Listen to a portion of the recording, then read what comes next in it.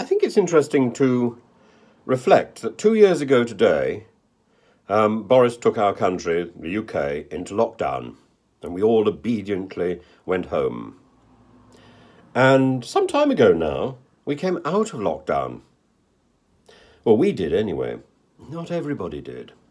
Uh, lo- lots of government agencies, lots of institutions seem to work on the principle that we are still in lockdown, and you still have that infernal, infernal message that uh, people are working from home because of COVID, blah, blah, blah, blah, blah.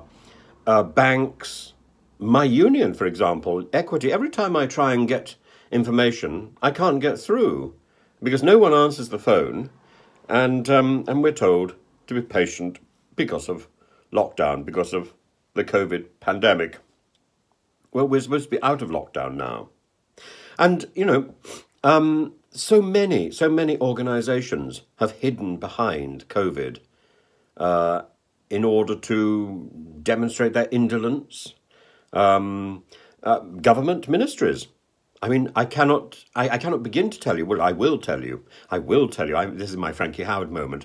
Um, I will tell you how many times I've written to Nadine Dorries, the uh, the minister for um, uh, culture ministry, uh, culture business, uh, culture, um, the arts, sport, and digital media, or something. Um, this extraordinary acronym that I can never remember properly.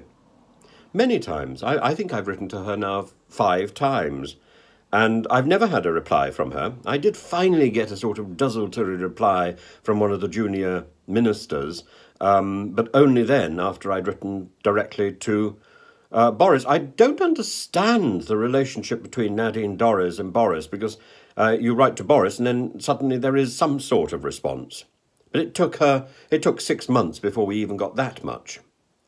Um, and uh, uh the other thing about her, did, did, you, did, you, did you know, it's extraordinary.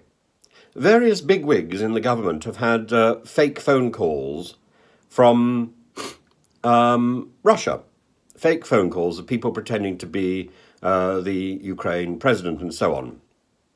And one of those people, one of those ministers, it turns out, was Nadine Dorries. Why would anybody from Russia bother to call Nadine Dorries?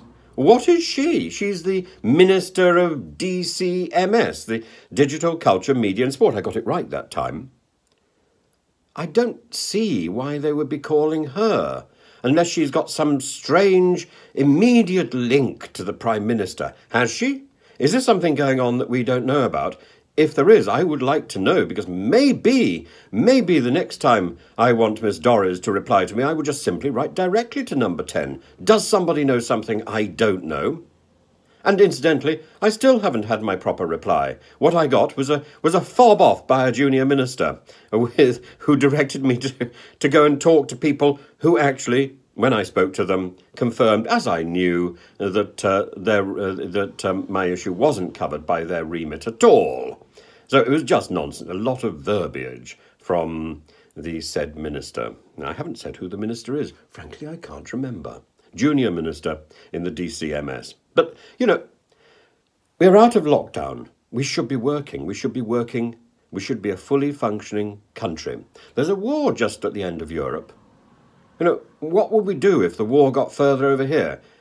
Would some of the ministers still, still claim then that because of COVID we aren't answering the phone? Um, it's nonsensical. Come on. Get out of lockdown.